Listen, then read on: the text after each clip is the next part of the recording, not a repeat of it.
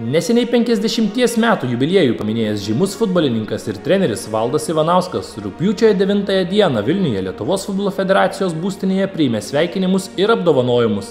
Lietuvos futbolo federacijos prezidentas Edvinas Eimontas ir generalinis direktorius Nerijus Donauskas jubiliatui įteikė LFF trečiojo laipsnio ordiną, o kūno kultūros ir sporto departamento direktorius Edis Urbonavičius auksinį medalį už nuopelnus sportui tas entuzijazmas, tas atsidavimas, tas e, energijos tie protrukiai tokie, nu, jie tikrai žavėjo, manau, ne vieną Lietuvos futbolo mėgėją ir šiuo atveju dar galim pasigirti čia visi Lietuvoje, kad ir ne tik Lietuvos, bet ir Vokietijos ir, ir tikrai ten legendas sklido apie patį ir tikrai mes visi didžiavomės, kad turim tokį futbolininką Lietuvoje.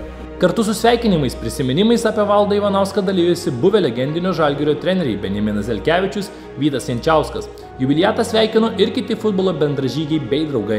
Kaip nesitikė, kad, kad tau jau dabar 50 metų ir tu negalėsi žaisti žalgerį, negalėsi padėti žalgerį. Valdas Ivanauskas nuoširdžiai dėkoja visiems ir patikino, jog ateityje tikslų dar yra labai daug. Tikrai malonu, kad vyriausybė, kad ir vyriausybės, ir savivaldybės, ir sporto departamento, ir aplamai trenerio dėka, dėka esu pagerbtas. Tai aš manau, kad tai įvertinimas, kurį, kurį aš tikrai vertinu ir, ir tai duoda kažkokį impulsą tolimesniai veiklai. Tikslų ir gana, sakykime, realių tikslų ir artimiausiu metu tikiuosi tikslai bus labiau paviešinami. Tai bus sfera surišta su futbolu ir tai artimiausiu metu turėtų paaiškėti.